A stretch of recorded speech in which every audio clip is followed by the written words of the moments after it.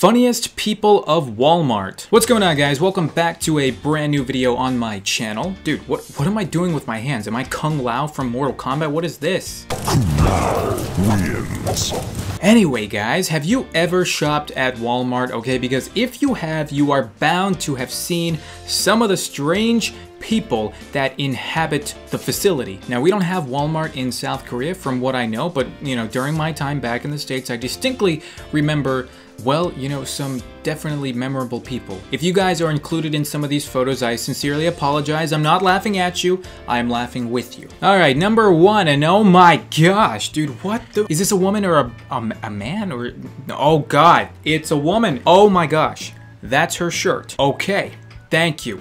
Wow, dude, even the little girl has to look away. Nobody wants to look at that. What is wrong with this woman? Is this the mom or the grandma or the crazy old sister? How in the world is this appropriate, dude? Her shirt is so low. I mean, that's not the only thing that's really low. Oh my god, I shouldn't have looked. Okay, you know what? Let's just move on to the next photo. Fantastic Mr. Fox. Okay, really, dude? So, what? If he just had the hat on, I would understand. That's not so bad. But this dude really has a tail attached to his butt. Oh my goodness. And he's got like the little fox feet attached to the back of his calves. What is going on? By the way, apparently he likes juicy fruit. Just saying. Guys, have you seen this guy? I mean, like literally, have you seen him in Walmart or, or anywhere? Dude, what planet is this guy from? Are we being visited by aliens? Do aliens love to visit Walmart? I swear, dude. Oh, okay, yep, confirmed. Alien confirmed. What time time period is this woman from? I feel like this woman never got out of the 70s, dude. It must have been like her era and she just couldn't let it go. Now, speaking of let it go, it kind of looks like Frozen. Let it go, let it go.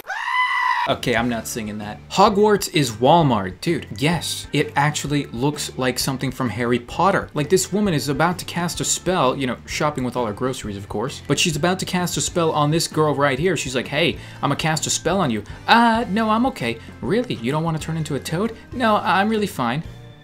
Well then. On a serious note, guys, what kind of hat is she wearing? Is it a, a religious thing or just a costume party gone wrong? Or maybe she forgot it's not Halloween? You tell me, okay? You guys do the research. Dude, this guy must have eaten so much and caused so much of a disturbance at Walmart that they had to not only hire the county police, but also the state police. Dude, this is a state trooper right here. Well, guys, come on. It's Walmart. You can't be that surprised, okay? All right, next up. Wow, this is one blinged out ride. I'm taking my time on my ride.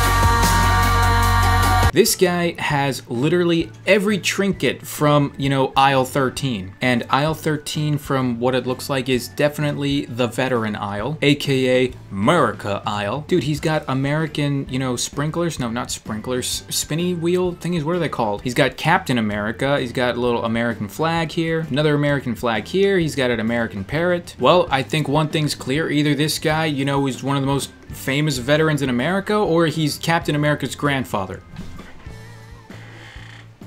I have no words, guys. Honestly, I'm losing more and more hope for humanity. The farther along this list we go. What in the world is this, guys? Who is, what is this? What are you showing me here, guys? Seriously, is this a joke? Come on, you have a midget in a balloon costume who can't even see properly pushing a cart. And how much cola does he need, dude? Seriously? Put the cola back. That's a waste of cola. At least it's not Pepsi. Is this someone's kid or... You know what? No.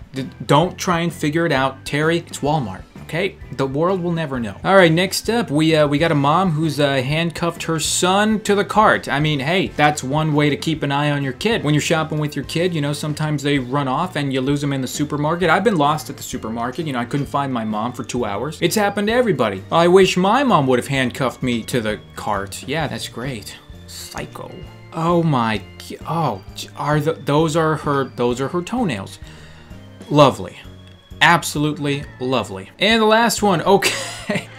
this one's actually kind of funny, kind of understandable, embarrassing, but yeah, it looks like this kid was bad, and we got the uh, papa, mama over there, bigger brother, who's the good one, I guess. This is the little troublemaker, and it says, I am a liar. Apparently, he did something bad. Um, he lied. I'm very grateful now, guys, because my parents have never done anything like handcuff me to, to a shopping cart or make me wear a sign that says I'm a liar. But uh, yeah, you know, uh, people at Walmart. Well, there you have it, guys. Those were some of the funniest people from Walmart. I don't really know what to say other than my hope for humanity has utterly been lost. I say that every time, guys. Every time I see one of these lists or photos or whatever, my hope for humanity just goes down a little bit more. But hey, guys, it's Walmart. If you guys enjoyed this video, be sure to leave a like and hit that subscribe button for more terrible videos like this one. Thank you guys so much for watching, and as always, I will see you guys in the next video.